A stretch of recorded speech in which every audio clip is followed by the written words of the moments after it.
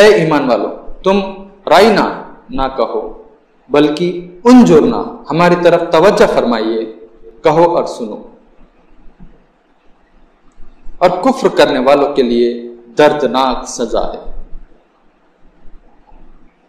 जिन लोगों ने इनकार किया, चाहे अहले किताब हो या मुशरकिन, वे नहीं चाहते कि तुम्हारे ऊपर, तुम्हारे रब की तरफ़ से कोई भलाई उतरे।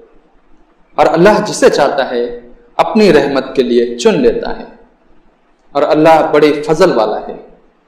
हम जिस आयत को मौकूफ करते हैं या भुला देते हैं तो उससे बेहतर या उस जैसी दूसरी लाते हैं। क्या तुम नहीं जानते कि अल्लाह हर चीज़ पर कुदरत रखता है?